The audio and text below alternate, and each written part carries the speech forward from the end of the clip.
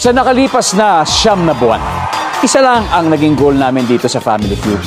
Ang maghatid ng kasiyahan sa inyong lahat. Nasa Pilipinas man kayo, nasa ibang bansa. Pero hindi namin inasahan ang mainit na pagtangkilik na inyong isinukli sa aming mga pagsisikap. Dahil dyan, tuloy-tuloy lang ang pagsasabog namin ng saya sa 2023 and hopefully sa mga susunod pang taon. Alam niyo po, kayo ang dahilan ng aming tagumpay, ng, ng ating tagumpay.